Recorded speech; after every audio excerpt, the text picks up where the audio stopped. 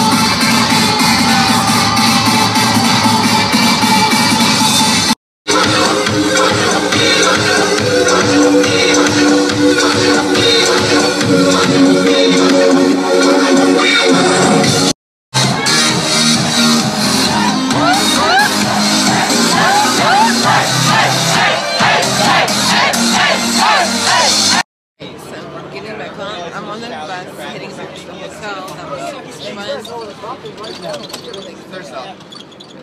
I don't know what it looks like.